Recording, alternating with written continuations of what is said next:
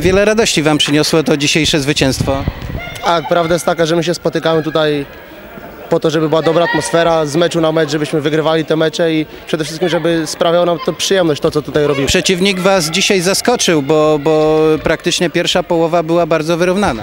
Tak, z tego co tam się orientowaliśmy, to przeciwnik y, w okienku transferowym wzmocnił się kilkoma zawodnikami, tak to była zupełnie inna drużyna niż ta, która była w Gorzyczkach, ale no jak widać nie na tyle dobra, żeby nas pokonać. Tak. Tak, specyfika hali w Gorzyczkach y, powinna być handicapem dla, dla tej drużyny, ale okazuje się, że y, oni o wiele lepiej grają właśnie na wyjazdach. Hala w Gorzyczkach jest specyficzna, hala w Gorzyczkach na długość jest jak hala nasza na hali Polonia na szerokość, tak, więc tam się zupełnie co innego gra, ale no trzeba grać na każdym boisku, Ka- każda hala jest różna, trzeba grać te jakie są warunki. To jest kolejne zwycięstwo i kolejny krok do awansu. Czy już czujecie jakąś taką chęć awansu, presję? Nie, my nie myślimy zupełnie o awansie.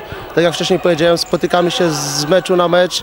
Ma to nam przede wszystkim sprawiać frajdę, tak ma być dobra atmosfera, mam się tym bawić, tak? A jeżeli uda nam się zająć miejsca premiowane awansem, potem będziemy myśleć, co się będzie działo. Mamy tutaj y, i, i faworytów, czyli Bielsko i Odrę Opole y, i chyba jeszcze Gliwice mamy te, te drużyny u siebie i, i jest tutaj powiedzmy dla nas jakiś tam handicap, nie? Tak, tak jak pan powiedział, jedyny mecz jaki mamy to jest z Krakowem na wyjeździe najprawdopodobniej. Resztę meczy gramy u siebie, no i to tylko od nas zależy jak my zagramy. Tak przeciwnik może grać y, swoja, ale jeżeli my zagramy na swoim poziomie, na odpowiednio wysokim, to na nas nie ma mocnych w tej lidze.